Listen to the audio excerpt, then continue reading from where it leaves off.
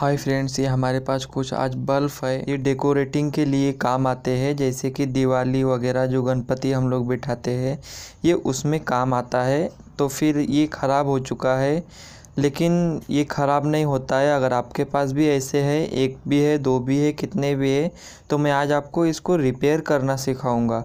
तो कैसे रिपेयर करते हैं, मैं आपको आज इस वीडियो में बताऊँगा। आप इस वीडियो को लास्ट तक ज़रूर देखिएगा।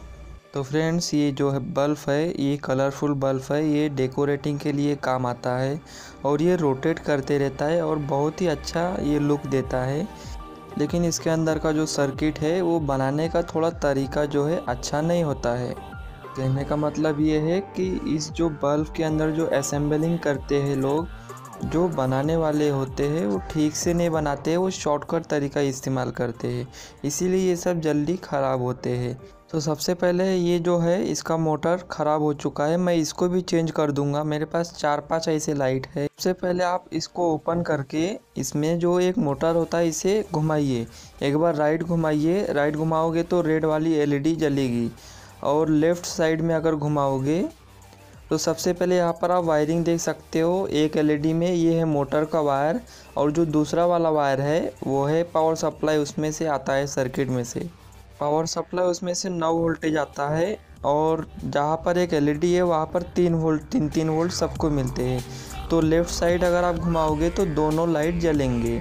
और मतलब कि ये सही है और इसका जो सर्किट है वो ख़राब है। लेकिन हमें सर्किट इसका कैसे रिपेयर करना है मैं आपको बताऊँगा। सर्किट में दोस्तों होता है एक कैपेसिटर कैपेसिटर अगर फुला ग्रीन कलर का आप देख रहे हो, उसे कैपेसिटर बोलते हैं। कैपेसिटर अगर फुला होगा तो समझ लो वो कैपेसिटर को आप चेंज कर दो। और इसके अंदर एक ट्रांजिस्टर है। ट्रांजिस्टर भी अगर ट्रांजिस्टर जल्दी इसमें का ख़राब नहीं होता है। अगर बाई चांस इसमें लाइन के वजह से ख़राब हो जाए तो आप ट्रांजिस्टर को चेंज कर दो। ये हंड्रेड परसेंट ये वर्क करेगा, ये ट्रिक।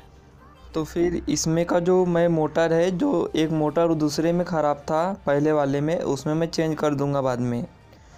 और मेरे पास ये जो एलईडी है, ये भी तो ख़राब नहीं है, अच्छी है, ये भी यूज़ में आएगी। तो ये मेरे पास है दूसरा बल्ब। इसको देखिएगा, इसमें का बाई चांस कभी कभी वायर वायर निकल जाता है। तो फिर आप वायर को डायरेक्ट शोल्डर कहाँ करना है? जहाँ से इस सीरीज़ में एलईडी ये कनेक्ट हुई है। मतलब ये तीन तीन वोल्टेज की ये एलईडी है तो ये नौ वोल्टेज पावर सप्लाई आ रहा है। तो फिर यहाँ पर ये आपको पावर सप्लाई देना होगा नेगेटिव वाला। हम लोग इसे नेगेटिव नहीं बोलेंगे, हम लोग इसे माइनस बोलेंगे। तो फिर पावर सप्लाई का शोल्डर कर देना है आपको, फिर ये एलईडी 9 वोल्ट पर चलेगी, क्योंकि ये तीन तीन वोल्टेज की तीन एलईडी है।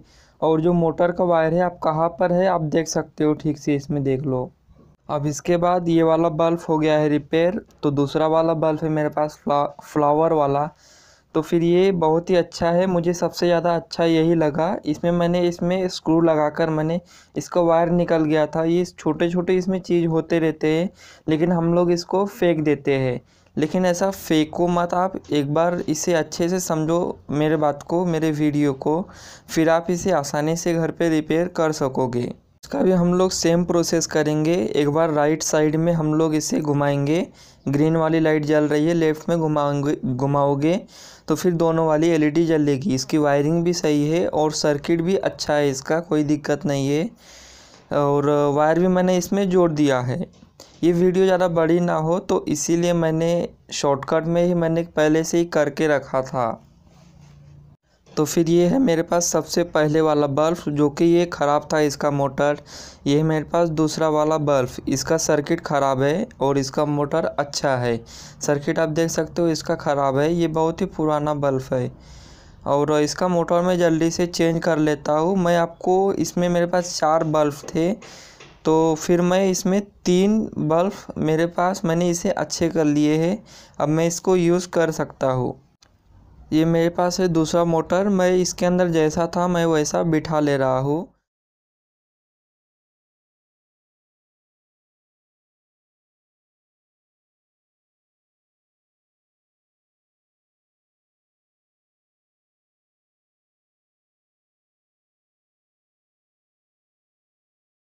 मोटर को चलाने के लिए तीन वोल्टेज लगते हैं, मिनिमम चार वोल्ट। फिर जो हमारी तीन वोल्टेज की एक एलईडी है, वहाँ पे हम मोटर का दोनों वायर जोड़ेंगे। क्योंकि तीन वोल्ट पर हमें ऑपरेट करना है, आप समझ गए होंगे। अब इसके बाद ये बल्ब जो है रिपेयर हमने कर दिए है और ये शॉर्टकट तरीका है, बहुत आप इसको किसी भी इलेक्ट्रॉनिक दुकान पर मत दिखाइएगा। वो लोग ज़्यादा पैसे लेते हैं, ये मोट ये सॉरी ये जो बल्ब है कम से कम नव्वद रुपये या फिर अस्सी रुपये में आसानी से मार्केट में मिलता है। रिपेयर करने जाओगे तो आपको इलेक्ट्रॉनिक वाला कम से कम चालीस या फिर पचास रुपये वो मांगेगा। तो आपके पास इन दोनों में से कौन सा बल्ब है, मुझे कमेंट करके ज़रूर बताइएगा। और वीडियो आपको कैसी लगी, लाइक ज़रूर कीजिएगा। इसको मैं टेस्ट करके दिखा रहा हूँ, एसी करंट पर। ये एसी करंट पर वर्क करता है। आप इसे चाहो तो पाँच वोल्ट चार्जर पे भी इसे ऑपरेट कर सकते हो, लेकिन अगर आपको आता हो तो उससे कर सकते हो या फिर बिल्कुल भी आपको नहीं इसमें समझेगा। इसका लुक मुझे बहुत ज़्यादा अच्छा लगा और चलिए फिर मिलते हैं दूसरे नेक्स्ट वीडियो में। इसे मोबाइल चार्जर से कैसे ऑपरेट करना है या फिर किसी भी बैटरी से कैसे ऑपरेट करना है मैं बाद में इसका वीडियो बनाऊँगा, लेकिन उससे पहले आप नीचे कमेंट ज़रूर करो कि हाँ हमको ऐसी वीडियो चाहिए। तो फिर चलिए मिलते हैं किसी और दूसरे वीडियो में। वैसे भी इलेक्ट्रॉनिक के बारे में मैं वीडियोस डालते रहता हूँ, जैसे कि प्रोजेक्ट और सर्किट बोर्ड के ऊपर। तो चैनल अच्छा लगा तो सब्सक्राइब ज़रूर करो और पहले आप वीडियोस चैनल में जाकर देखो। वीडियो को लाइक मेरे ज़रूर कीजिएगा।